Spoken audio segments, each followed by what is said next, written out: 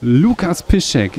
Freiburg habt ihr 4 zu 0 weggeputzt, obwohl es im Grunde nur noch um diesen Vereinsrekord ging, den ihr natürlich auch geholt habt. Habt ihr gespielt, als ging es um Leben und Tod. Woher nimmt diese Mannschaft diesen Leidenschaft für Fußball, diesen Spaß am Spiel? Ja, wir wussten, dass wir können diesen Rekord holen und äh, wir sind gierig auf diesen Rekord. Äh, deswegen, äh, wir haben seit Anfang an ein sehr gutes Spiel gemacht und äh, bis Halbzeit vier Tore geschossen. Das äh, war ein riesiger Fußball von uns. Hat man schon realisiert, dass man Geschichte geschrieben hat? Ja, das, das kommt erst später, ich glaube, weil heute ist diese Meisterschaftsfeier und äh, alles.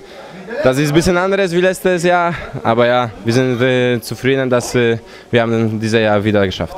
So groß feiern dürft ihr heute gar nicht. Ihr müsst doch um 1 Uhr ins Bett, habe ich gehört. Ja, wir werden sehen, was kommt äh, raus. Ich hoffe, dass wir, ja, wir haben noch ein großes Ziel von uns, äh, Pokalfinale und äh, wir werden uns alles konzentrieren lassen auf dieses Spiel.